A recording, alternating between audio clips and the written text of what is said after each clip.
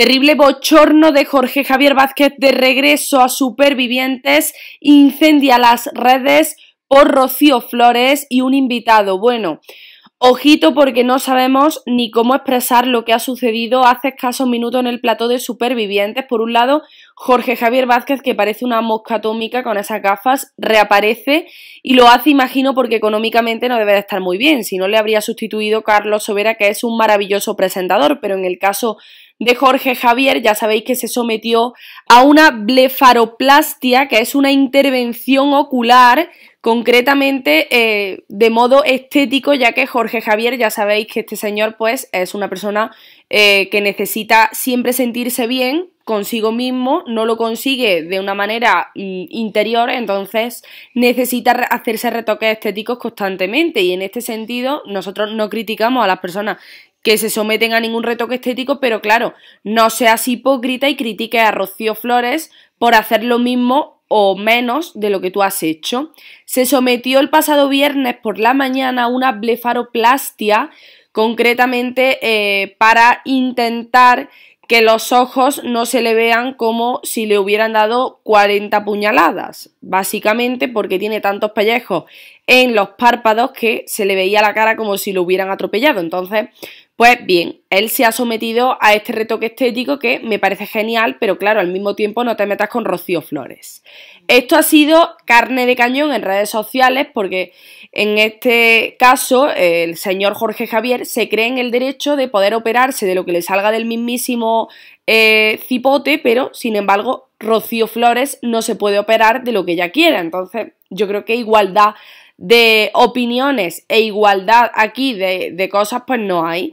Y ojo, ojo, porque aparte del tema de salir en gafas de sol en lugar de quedarse en su casita en reposo absoluto y e intentar que no se le estropee la vista, pues este señor se ha dedicado a acudir hoy al plato de supervivientes y hacer vivir a otro señor que estaba en la bancada de, bueno, de los defensores de los concursantes un bochorno brutal. Y os podéis imaginar el por qué. Pues bien, concretamente se dirige a él y lo primero que le pregunta es si él es maricón, así se lo ha dicho, si él es mm, con esas palabras. Eh, no le ha preguntado en ningún momento, perdona, eh, tú estás en Tinder. No, no. Directamente que si él es maricón. Eh,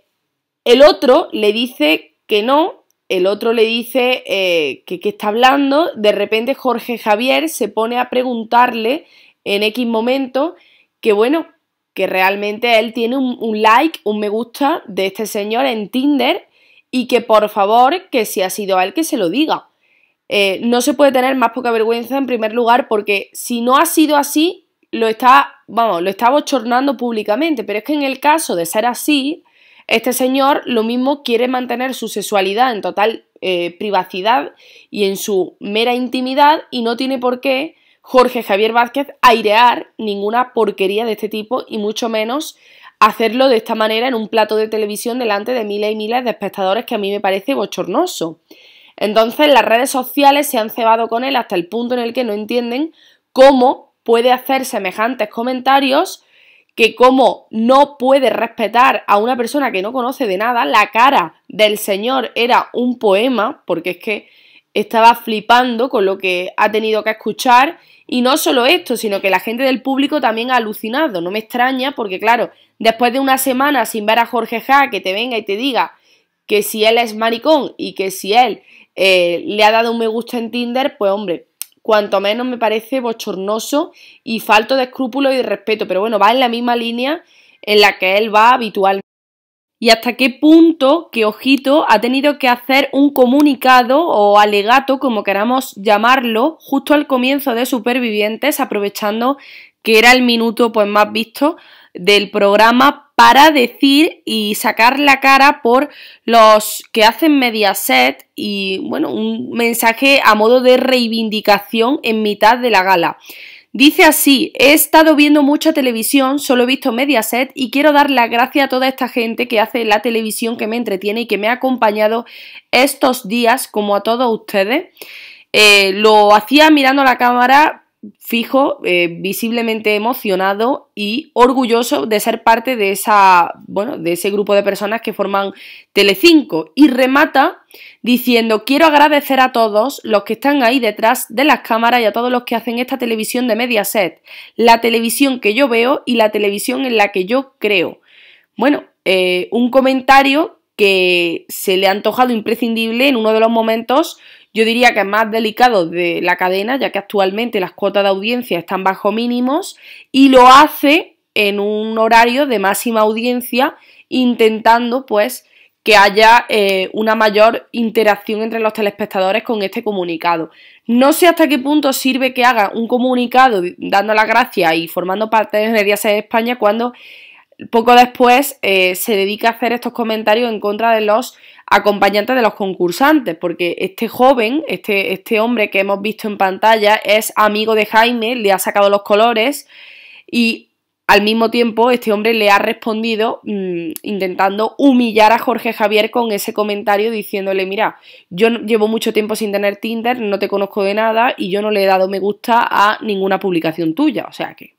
la cara de Jorge Javier era un poema y en general pues creo que la gala va en, la misma línea de este señor. De hecho, la hija de Ginés dice, esta semana es que me he enterado que tengo varias madres y la respuesta de Jorge Ja ha sido la siguiente.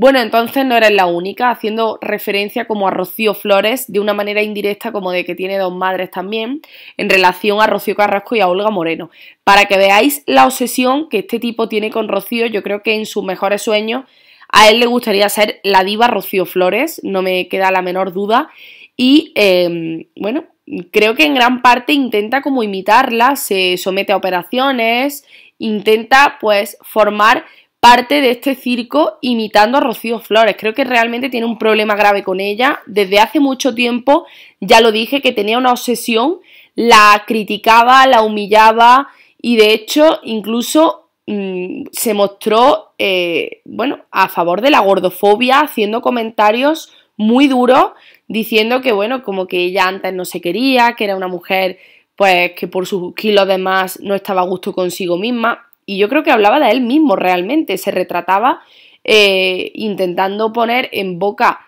de otros eh, lo que él mismo sentía. Así que bueno, esta es la última hora. Yo creo que Jorge Javier está muy tocado, la verdad, está tocado y hundido, tanto a nivel personal como a nivel mental. Creo que es una persona que necesita retirarse un tiempo de la televisión y veremos a ver si la vida eh, no le sorprende, porque vaya, visto lo visto, otra cosa estaría más lejos. Así que no sé qué os parece esta manera de humillar a un invitado, pero cuanto menos sorprendente. Así que bueno, suscribiros al canal y nos vemos en los próximos vídeos.